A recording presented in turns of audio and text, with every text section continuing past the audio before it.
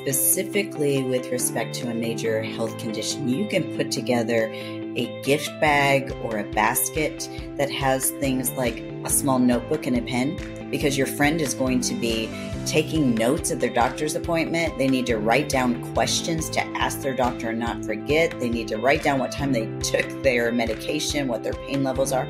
So, a small notebook and a pen. For someone who's going through chemotherapy, consider dry mouth lozenges because they will be a lifesaver. Consider healthy snacks so that when they're in the car driving to doctor's appointments and maybe they may be at a doctor's appointment and the doctor says I have to send you over to the hospital for a PET scan. They need to have something in the car so that they can get something to eat and keep their energy up. This is going to sound funny, but consider a scarf, gloves, leg warmers, and fuzzy socks because hospitals and chemotherapy rooms are freezing. They are so cold. And while most of them have these warm blankets, can I just tell you the warmth from those blankets lasts all of 93 seconds.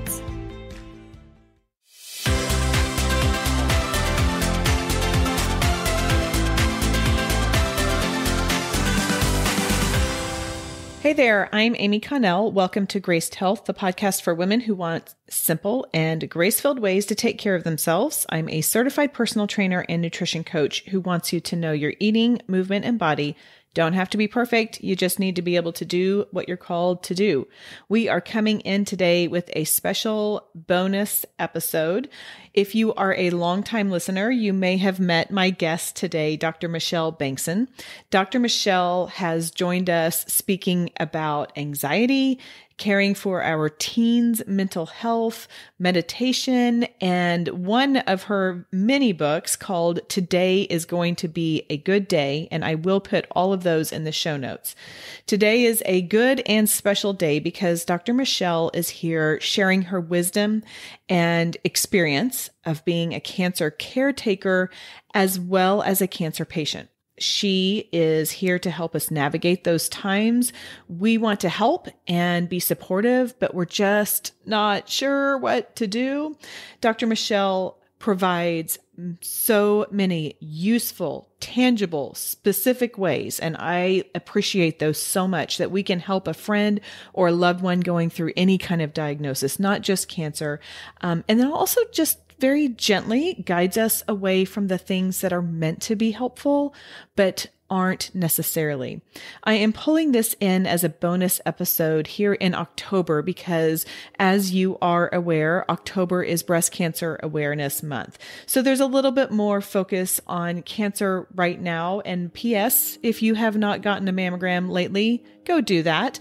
But since we are having more discussions about cancer this month, I thought this would be a good time to come in and have a conversation about how to care for others who are doing that and also care for the caretakers.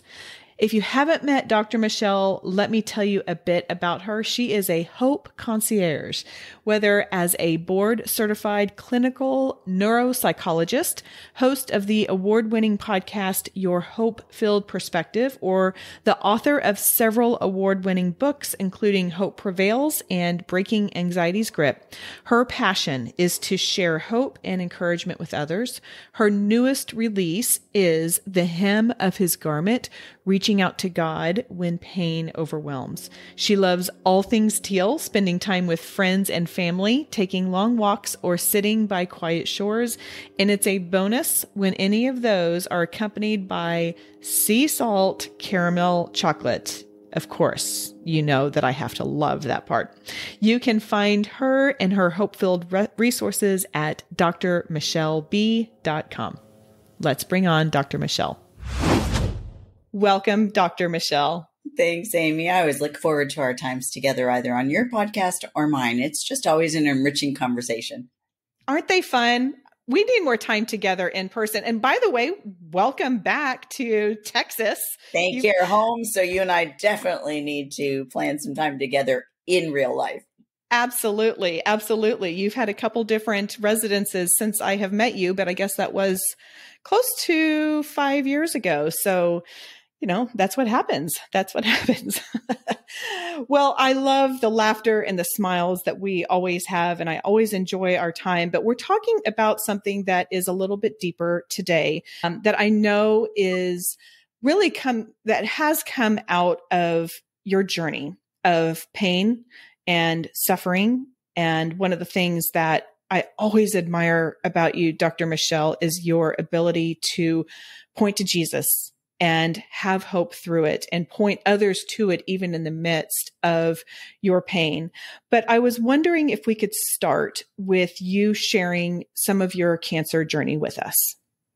I would have to tell you that my cancer journey actually started with my husband's diagnosed with cancer. He was diagnosed 22 years ago with a very rare form of abdominal cancer. And when we sat in front of that oncologist, the oncologist said, Mr. Bengtson, I'm so sorry, you're too young for this, but you need to go home and get your affairs in order. You have less than two years to live.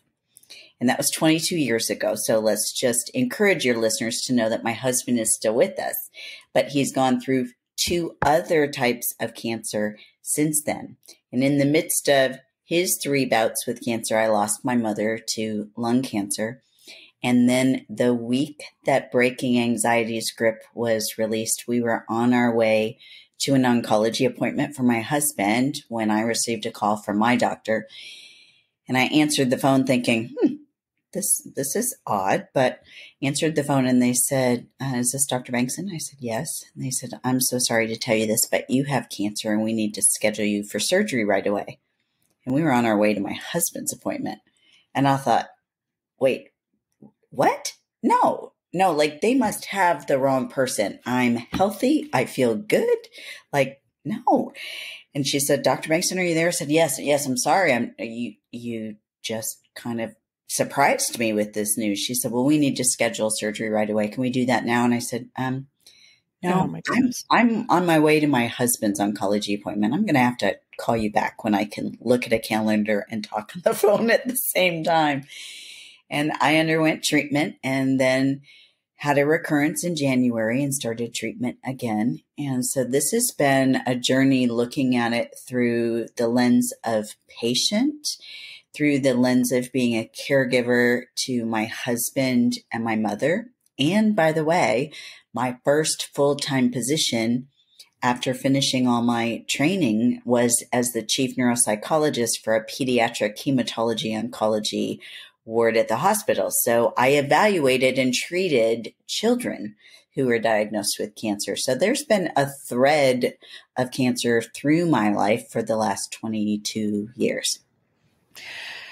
So I don't mean to make light of this, but I mean, do you ever just, are you ever just like, God, I, you have given me too much cancer in my life? I mean, like, there is so much I mean, even gosh, I didn't know that part about your first job. Well, and then in 2019, we lost 19 friends and family to cancer. So yes, oh. um, yeah, I, I have prayed and thought, Lord, first of all, why such an evil presence in the world? You know, and I know that God doesn't bring that on us. We live in a fallen world, but to lose 19 people in one year. And I think what made that especially difficult is after both my husband and I were diagnosed, we decided we didn't want anybody we knew to walk through this alone.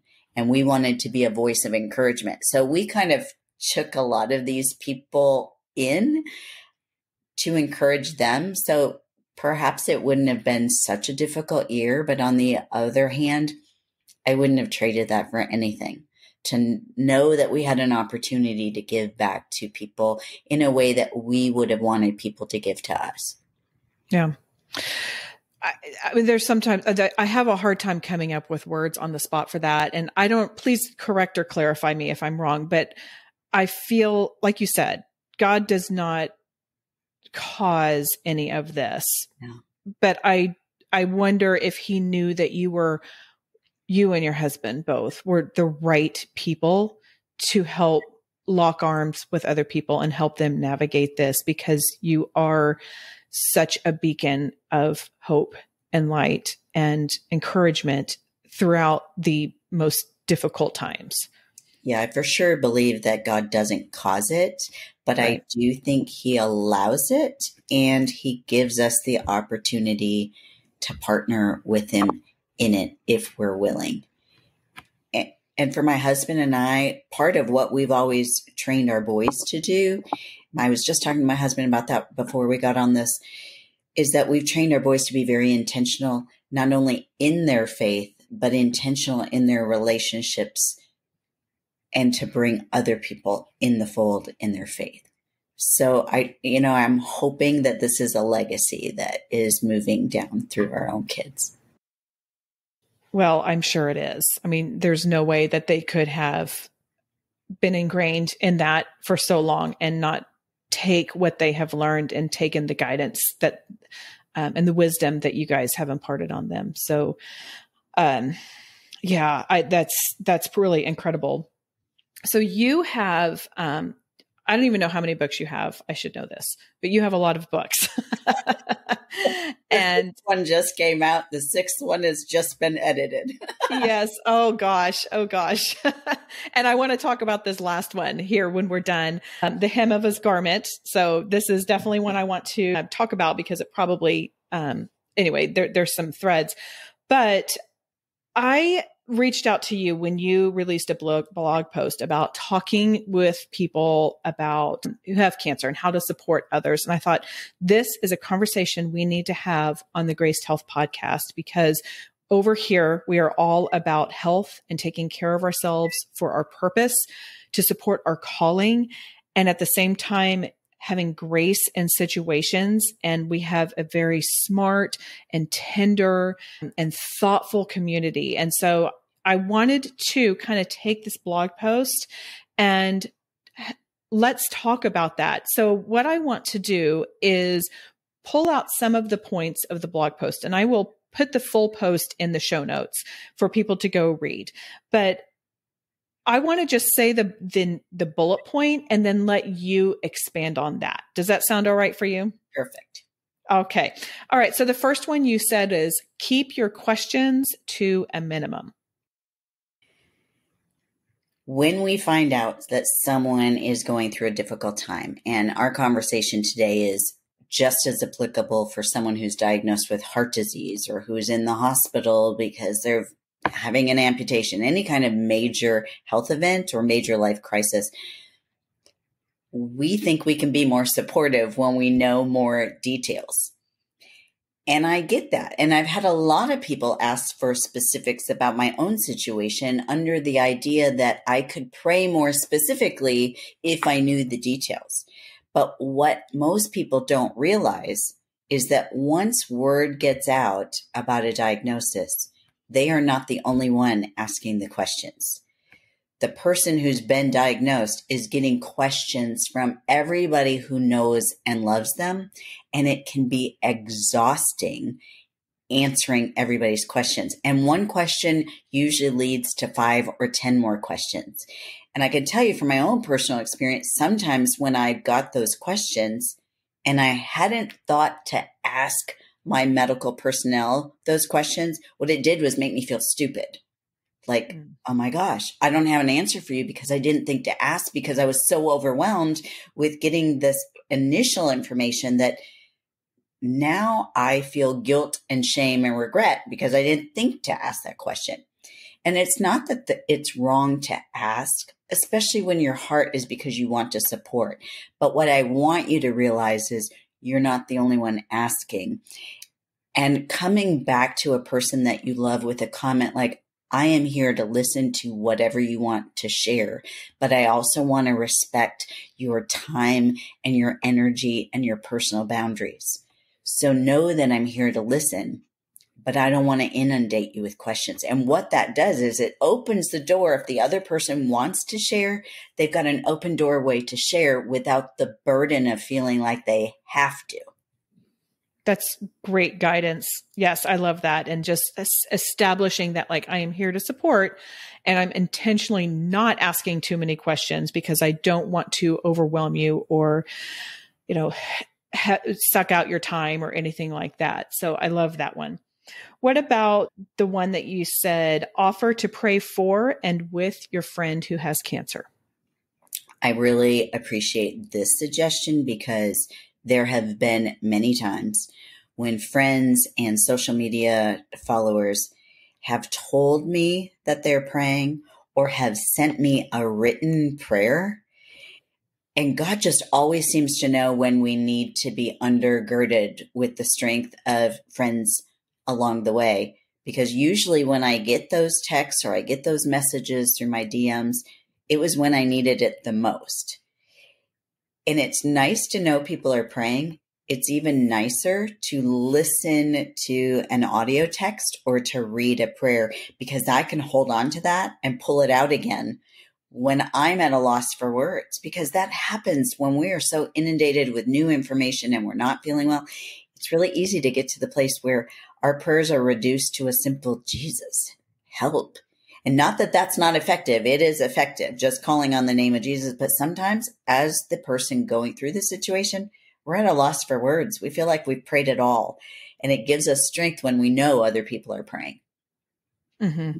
That's a great point. You know, one of the things that I will try to do, I wish I did it a little bit more often, but I will just right then and there, I will write out a prayer. Yeah. And if I'm totally honest, look, let's be honest, that takes time, it takes thoughtfulness, it takes choosing the right words. But I feel for me, like that's the way that I would like to support a friend and how I would like to have one support as well, like actually sending a prayer. And it's normally over text. And I know for myself, sometimes in the past, I have told people I would pray and then the day got busy and I forgot. And I do not want to get to heaven and have the Lord say, You told them. Why didn't you? So, mm-hmm. doing exactly what you've said, I'm going to do it right now. I'm going to pray right now. In fact, I'm even going to write it out for you or I'm going to voice text it to you. You know, we've got these great apps. We've got Marco Polo and Voxer and, you know, the voice app on our phones. There's no reason we couldn't even just speak it out. And then we've done what we promised we would do. Yes. I think, and I will say that I did not come up with that idea. That came from a pastor when I was growing up. And it was like, oh, can you pray for me? And he was like, yes, we will right now. And he would just drop everything and pray. And I found that to be so powerful and kind and uh, focused on the person right then and there. I loved that. Now, speaking of, of that, what about the one that you said, don't just throw scripture at them? Because that would be, you know, I can see how that happens. We go to, we don't know what to say. We do a little search and we find a scripture and we, you know, copy and paste that into a text. We live in such a pain averse society. And that I think even includes us Christ followers. And because of that, I think most people's intention is really good. So let's let's just start with that baseline. But sometimes when you're the pain sufferer, having someone throw God works all things together for good for those who love him and are called according to its purpose. I know that. But in my pain and suffering, that tells me you can't relate because you think that scripture verse, that Bible verse band aid is going to take my pain away. And I think that's what happens sometimes is we want to have the right thing to say and we want to do something to take their pain away, but we don't know what that is. So we fill it in with a Bible verse. Now, there have been times when people have shared verses with me and they've been just the right verse I needed to hear, but that usually came in the form of a text or a card that said, as I was reading this morning, this verse made me think of you. But it wasn't meant to take my pain away. And it wasn't meant to fill a void. I could tell the difference between the heart behind the message. That makes sense. What are your thoughts on this? This just came to me that, you know, we can't, and we can't take the pain away, but we can fill our friend with our presence and our love. I think that is so consistent with the story that we read in the book of Job. Job went through physical, emotional, relational, financial, and spiritual pain. And his friends came and sat with him.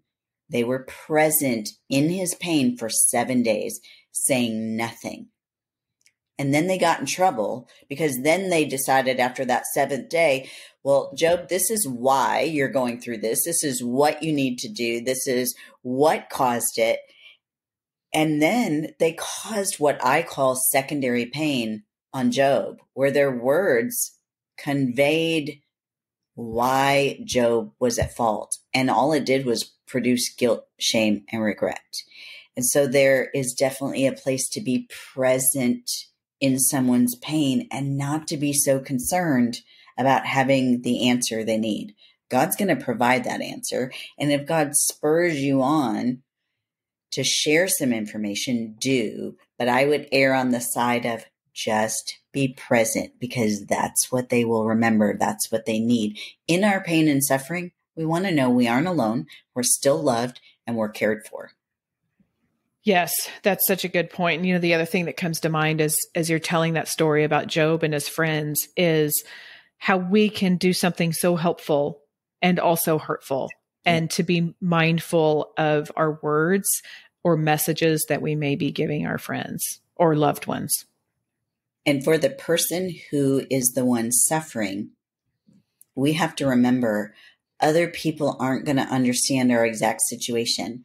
Even having gone through cancer with multiple people, my situation is not the same as theirs. I have a greater appreciation for the process, but it doesn't even mean that their body is going to respond to the same treatment. And so it's incumbent upon us who are going through the difficulty to extend grace and recognize that most people are responding with the right heart attitude they just doesn't don't know what's going to be helpful. So that's why I'm so thankful that we're doing this episode to try to help people understand what helps and what potentially hurts. But even for the person who's suffering, we have to extend a lot of grace to the people around us. Yes, that's a great point. What about your point of asking permission before giving advice and suggestions? And I'm I'm holding back a smile here because I am positive I am guilty of this in so many, I mean, not necessarily in cancer, but in other ways. I'm like, oh, well, what about? Have you thought? Have you considered? Have you tried? I'm like, oh, Amy. And then as words are coming out of my mouth, I'm like, shut up, shut up, shut up, shut up, shut up, shut up. I think we've all done that, Amy, because we want to help. Yeah. But here's the thing is the person who's going through cancer or some other major crisis in their life they can be so weary of receiving unwanted and unsolicited advice. And even as a neuropsychologist, there are times I have to bite my tongue and first ask, Are you open to some input? Are you in a position where you want to hear some advice? And if not, it's totally okay. Grace in advance. But the problem is, is when we give unsolicited advice, it can end up backfiring because it can leave the recipient feeling like we think you don't know enough or we think you're not smart enough to ask the right questions or you know we've heard of our friends neighbors aunts perfect pillar potion that helped them or didn't and the worst thing you can do is please please please do not tell stories of people who had the same diagnosis who did not fare well that is not helpful. It is not encouraging. And we want to keep people focused on the positive. Because, and obviously you know this so much more than I do, but the research is fascinating about the state of our mind yes. and our mindset as we go through and as we struggle through being sick and cancer and having these, that it, the mind has such an impact on our physical outcome. So why would we discourage people by saying, my aunt had that. She passed away in two months. What? Right. Well, it, it has happened so many times to my husband and I that after we had gone through cancer three times with him, I really prayed about it when I was given a diagnosis. And I felt like the Lord said, you don't have to share all those details. Because if I don't share the type of cancer or the exact type of treatment, you can't tell me about the person who died from that cancer or how that treatment is not good because of X, Y, and Z. Because it was so hurtful when my husband was going through it, when we received all those kinds of comments. But the other thing is that God has so uniquely created us that what might be helpful for you with the exact same diagnosis is not necessarily going to be the best treatment for me. And so I want to give your listeners who are going through the devastating situation permission to limit how much you share. And I would say definitely share with a trusted few. But just because people are interested or just because they ask questions doesn't mean that you have to divulge more than you feel comfortable divulging. That is such good wisdom. And I don't know that I ever would have considered that to be an option. I mean, I have not dealt with a des- devastating diagnosis, but previously I had asked you one time, not knowing that's where you stood. And when you kind of told me where you, you know, your response of like, we don't, I'm not sharing that, it was respectful. It was like, it, it, it was, it was like, oh, I don't have to know everything and she doesn't have to share and i will still you can still support a friend without knowing the fullness and all of the details of a diagnosis. So that is wonderful permission and thank you for that. Well it's interesting because some people like you received it really well and other people have not received it well but part of what brought us to that place is, first of all, we learned a lot going through Scott's cancer three different times. And in that process, I also learned, you know what? I don't want to come into agreement with the enemy because this is not from God. This is from the enemy of our soul. And I'm not going to come into agreement. And for me, sharing the exact kind of cancer is like saying, yep, I agree with the enemy. This is this is my lot in life. And I'm like, no, I still believe God is in charge and I believe God will use it. But the other thing is that we heard so many devastating stories about my husband's type of cancer. And God's the one who ultimately gets to decide. Doctors diagnose and treat, but ultimately God numbers our days. And if we had believed all the negative reports, I mean, he should have died 22 years ago and he's still with us. Doctors diagnose and God decides. Right. I love it. That's so true. That's so true. Let's shift a little bit to one of the other things that you suggested to us, and that is a care package and can consider tangible expressions of your support. I don't think I'm alone when I can say I there are so many times that something tragic has happened or someone is dealing with something and I want to help and I don't know what to do. I would love to hear some of the suggestions that you have uh, to help us provide support to those who are dealing with this diagnosis of cancer or anything else. Specifically, with respect to a major health condition, you can put together a gift bag or a basket that has things like a small notebook and a pen because your friend is going to be taking notes of their doctor's appointment. They need to write down questions to ask their doctor and not forget. They need to write down what time they took their medication, what their pain levels are. So, a small notebook and a pen. For someone who's going through chemotherapy, consider dry mouth lozenges because they will be a lifesaver. Consider healthy snacks so that when they're in the car driving to doctor's appointments, and maybe they may be at a doctor's appointment and the doctor says, I have to send you over to the hospital for a PET scan. They need to have something in the car so that they can get something to eat and keep their energy up.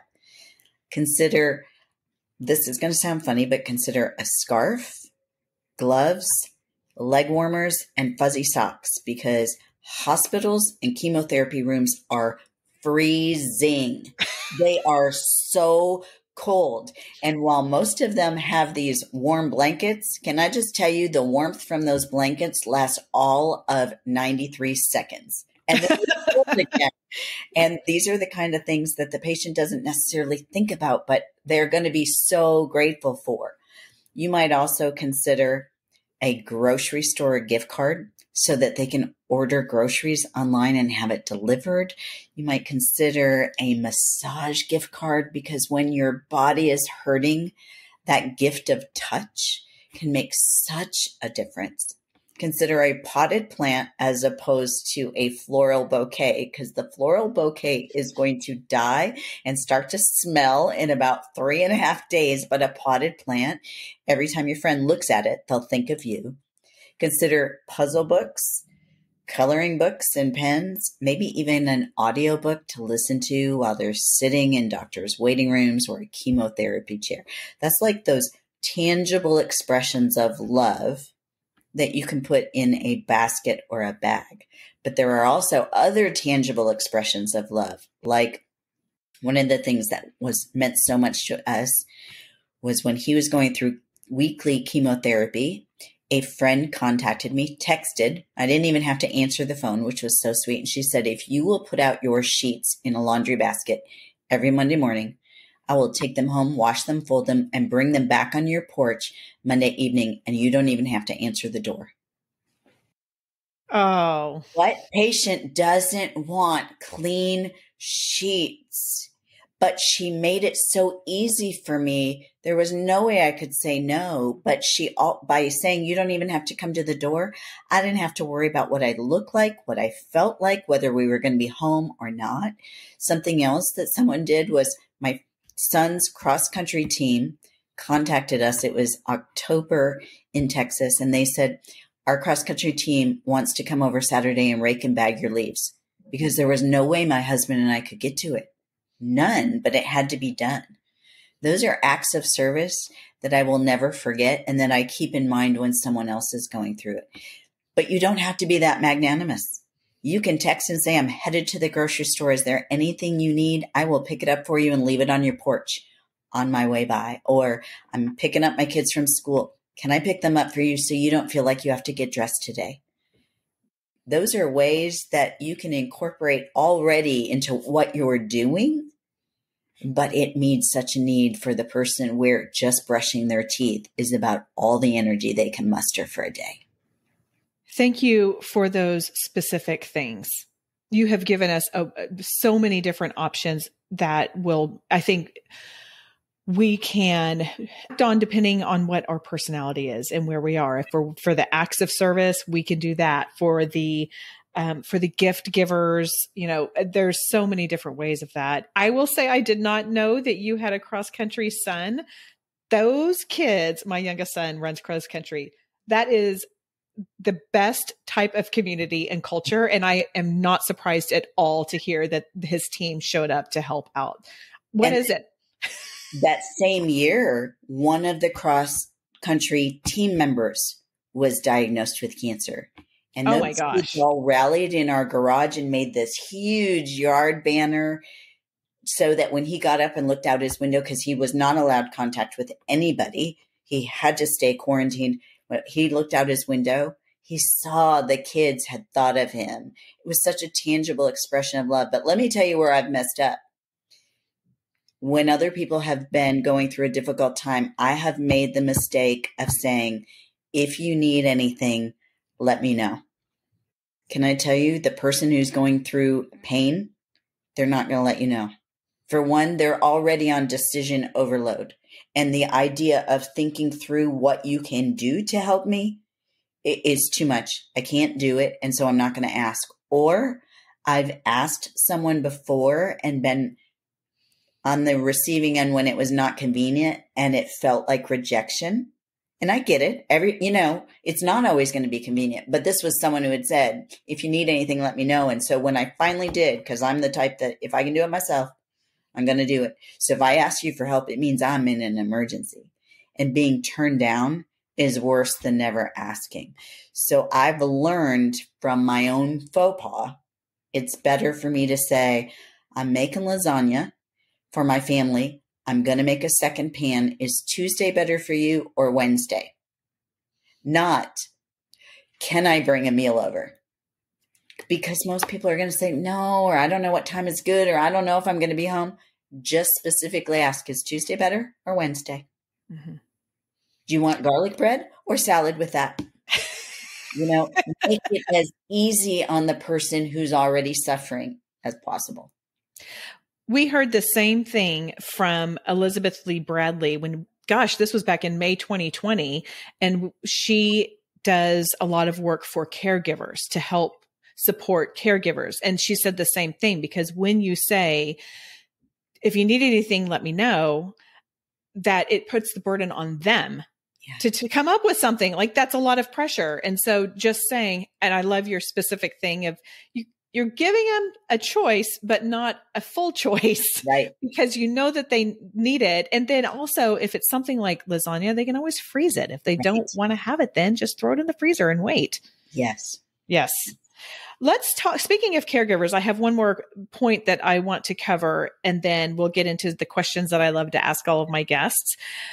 The final guidance that you have is consider your friends' families' needs as caregivers because caregivers are in their own special kind of space as well. So tell us some about that. First of all, God bless the caregivers. Seriously, we need you. So thank you. If you are in a caregiving role, thank you.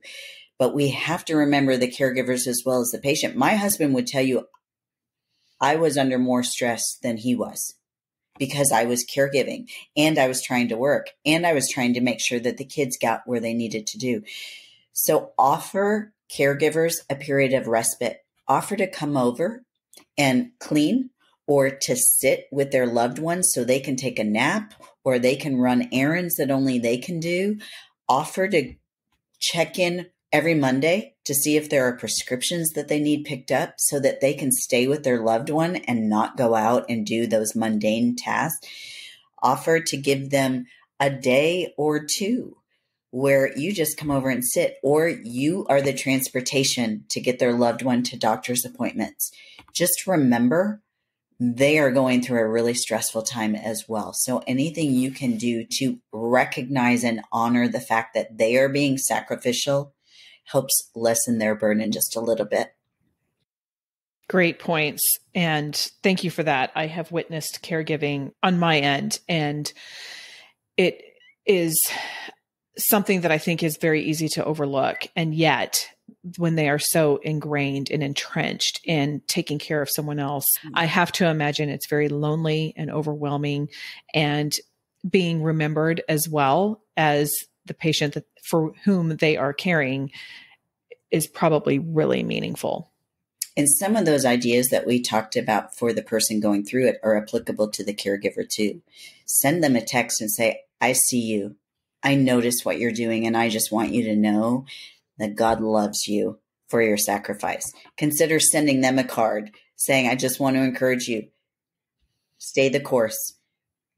This is valuable. I recognize what you're doing. You know, those, because sometimes the person who's in pain is the last one to thank the caregiver.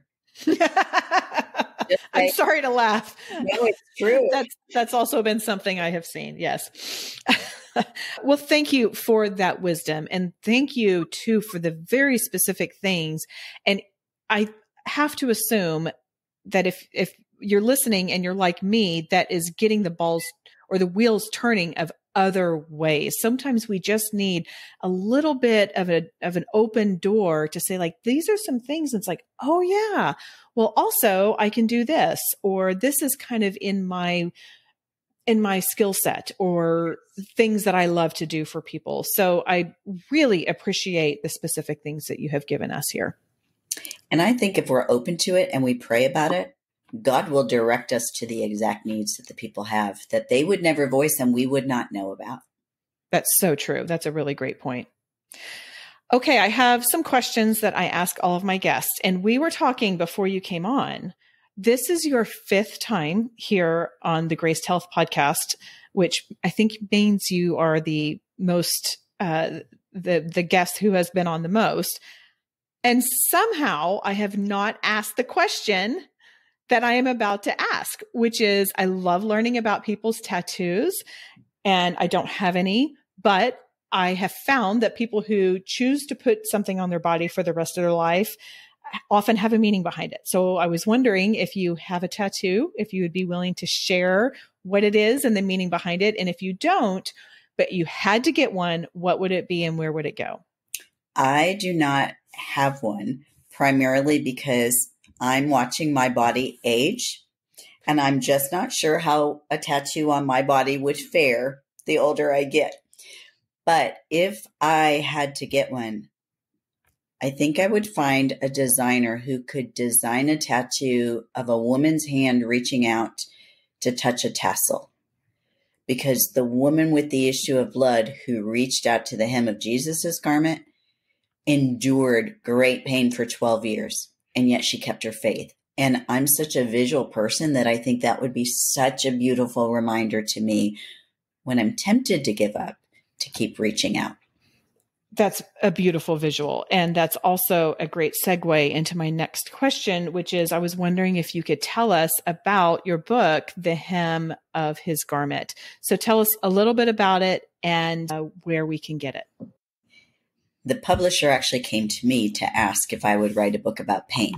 Wow. In complete honesty, my first thought was absolutely not because I know what I have to go through as an experiential writer to write each of the books I've written. But I prayed about it and I felt like the Lord said, You don't have to, but then I'll get someone else to do it. and immediately I thought, No, I want to be obedient more than I want to be comfortable. But what is different about the hem of his garment is all the other books I've written, I've written on the other side of pain. I've written on the other side of depression after getting through it, on the other side of anxiety, on the other set, uh, side of a negative mindset. This book was written in the crucible of physical, emotional, relational, financial, and spiritual pain to give people hope and to help readers answer the question if I know God can heal, how do I hold on to my faith when he hasn't healed me yet? And what lessons or gifts might God offer in the midst of my pain that I might not experience if I lived life easy in a pain free existence? And it, the book, in part, focuses on that woman with the issue of blood because she did endure all those types of pain, and yet she kept her faith. And ultimately, in God's timing, her faith was rewarded. That's right. Yes, after 12 years. And I can only imagine the, uh, I don't want to say despair. Maybe it's despair, but just the, is just the crying out to God. Yeah. Is this ever going to get better? Will I ever heal? And uh, she is a powerful reminder of our faith and and Jesus's power and how it can heal. Yeah. So to that end, do you have a meaningful Bible verse that you would like to share? Mm, yes, Genesis 50, verse 20, that says, What the enemy intended for harm, God will use for the saving of his people. Because I've witnessed so many times, whether it's through cancer or depression or anxiety or relationship difficulties, it's so easy to be focused on the pain but we know that God is not the author of pain, Satan is. And I love to look for the ways that God redeems our pain and kind of thumbs his nose at the enemy. And what I have learned from this conversation is if I want to share that verse with someone, I should also include a little commentary, a prayer, something else a little more personal with it rather than just sending someone Genesis 50 20. That's right. And it might just be something like, I hate what the enemy has brought into your life. So I'm going to continue to pray that God redeems this pain. Yes, that's great. Simplicity is good too. I yes, I, I don't think we have. Here's your heart. Right. Right. Okay. What is the final, one simple thing that you would like to share about our, or what that you would like to have our community remember. It can be big, it can be small, but one simple thing about today's conversation. Pain of any type tempts us to isolate from others and from God. And if you have a friend or a family member who's enduring some kind of pain, you have the opportunity to be a voice of encouragement for them. So seek out ways to step into their pain rather than stepping away in your own discomfort. That's wonderful. Amen. And thank you for that. Okay, that is all for today. Go out there and have a grace